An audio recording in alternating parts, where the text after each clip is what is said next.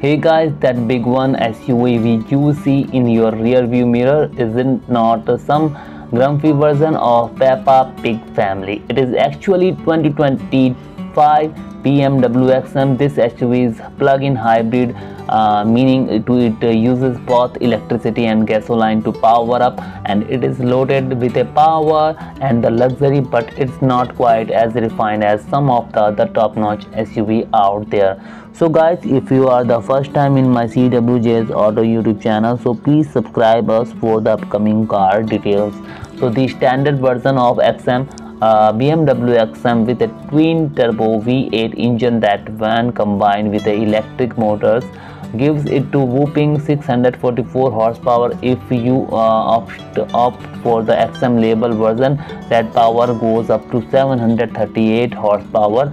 Uh, I share the BMW XM label version uh, separate video in my YouTube channel. You can watch inside the description box. And when we tested the standard trim it went from 0 to 60 mph in just 3.4 seconds showing off its speed but it is not smooth when driving at a slower speed and the XM uses a coil spring uh, suspension system with adaptive dampers and the active anti roll bars. While it is not as smooth as we did like it is uh, okay it is comfort mode so uh, switch to sport mode and you will feel the handling become more responsive although the ride gets a bit bumpy so during our test drive some of uh, authority website test the bmw XM i didn't share the exact website uh, name uh, uh, authority name and it is